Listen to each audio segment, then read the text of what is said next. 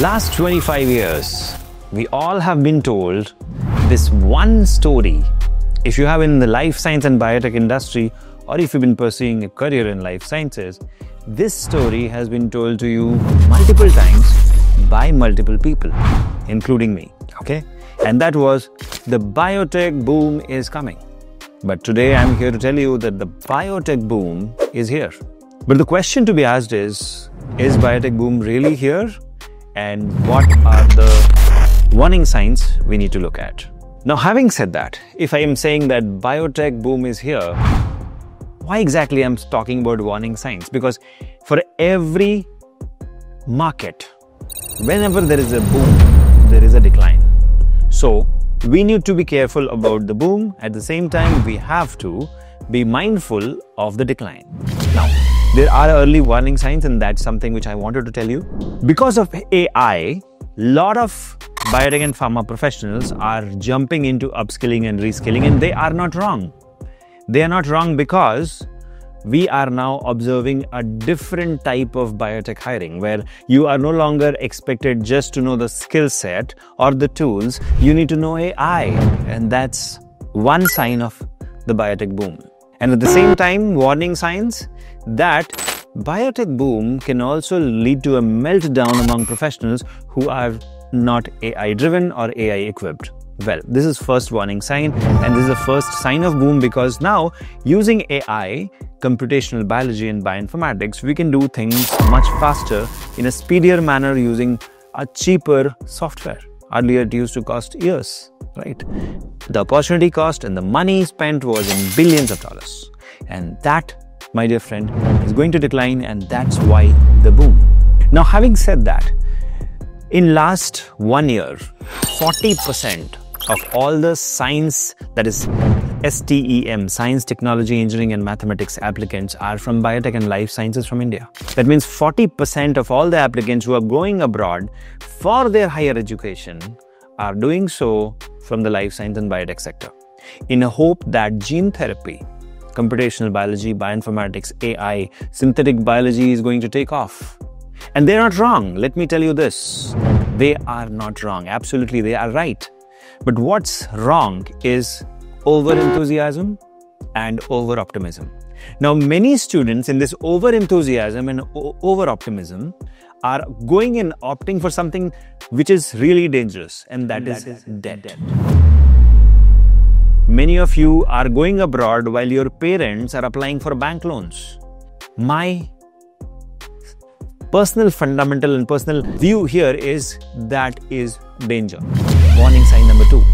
Agreed that there is going to be a boom, but no boom should be based on the foundation of debt. While you will get a good life in US or UK or Europe, your parents might be dragged into a debt trap paying student loans or maybe you are you might get dragged into that right so my suggestion to all those students those 40% of the uh, all science students who are going abroad are life sciences right so please don't go out unless you have a scholarship okay now why exactly these you know colleges from foreign are so much uh, happy inviting you because their own crowd is not studying STEM anymore. Science, they're not studying. Our students are more talented and they are interested. They are willing to make a career in science. And the governments there are investing a lot in whatever i told you gene therapy uh, computational biology cancer biology all of that right? So go there but on at the expense of their money not your parents money or your parents debt okay? Don't get so desperate for success that you push yourself or your parents into a debt trap. Now warning sign number 3 is while code meets cell okay that means coding for biologists that's what uh, we call it or by python or java or perl or c++ all this merges the artificial science that's computer science merges with the life science the natural science. We will see a boom. But in the middle of this the warning sign number 3 is the boom will happen but it will replace a lot of mediocre biologists. So don't be a mediocre biologist. Upskill reskill cross skill Recently, a big biopharma company in Bangalore, I will not name them, but you will understand who it is. It's one of the largest bi- uh, biotech company in Bangalore. they have created a mandate saying that everybody in their organizations which is including scientists should be ai equipped. And many of them are now coming to Biotecnika, doing training projects and they know that if they don't do it they'll get replaced. So there is going to be a boom but that boom is going to lead to a lot of cost efficiency for the industry. But a lot of layoff can happen. That's a warning. So get driven by ai get ai equipped okay? Like I said, don't get uh, debt trapped. Now, which are the best countries to go? You have France, you have Germany, you have UK, but UK I'll still not suggest France and Germany take a upper hand. Netherlands, uh, New Zealand, Australia, uh, Sweden, Switzerland, these are some of the best companies. Ireland also to some extent, yes. US, on the other hand, is also welcoming science student in life sciences, but there is a catch. And the catch, again, warning sign number four is Mr. Trump. Now, Mr. President is hell bent to have the opportunities insourced only to Americans, and that means if you are an outsider there, you might face problem all right so a small parking ticket can lead to your expulsion from united states of america so please be mindful okay?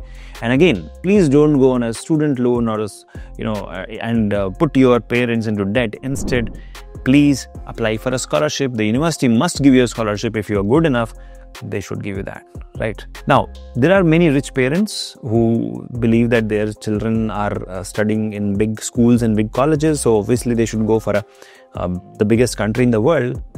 Remember the biggest country in the world has also got their own problems and that can spill over you. So warning sign number 5 you have to dream big but keep your legs you know on the ground. Don't start flying thinking this will happen that will happen. While your basics is not clear you might go there you might get into gene editing synthetic biology pharma research biotech research and then later on uh, you come back and you have to start looking for a job in india. So if biotech boom is here the salary range is going to be from 80000 us dollars to 120,000 US dollars minimum and it'll go up to 200,000 US dollars for freshers. But if that's going to happen, one thing is very, very clear. If you are already in student debt, all that interest will pile up. If you're not in the student debt, if you if you don't get a job there, coming back to India after a abroad uh, education is going to be painful because there is price parity in picture you spent in dollars and now expecting money which is at par with the dollars which you spend, which will not happen. In india the salary packages are still on a lower side. Not it cannot match the us dollars because you'll convert the us dollars into rupees. Of course indian salaries are at par with the indian standard of living okay? So please don't go abroad and think that if you come back here you will get a lot of salary. Unless you are a phd the salary brackets will remain the same. But of course if you are exceptional you will grow. So while the biotech boom is here, I want to, to warn you that it has got its own downsides. So you have to choose whether you want to be sidelined by this boom or whether you, whether you want to be the part of this boom, right? So be mindful, biotech boom is here. Even in India, now let's come to India now. Even in India, we are seeing a boom in startup economy. There are more than 16,000 startups. Companies like Biotecnika, Biocon, Syngene are growing double digits, triple digits, and various other companies are also growing. Right? We have um, some of the best companies in India. So, if you've done your bachelor's and master's properly, getting a job won't be a problem. Getting experience, gaining experience won't be a problem. You know what will be a problem?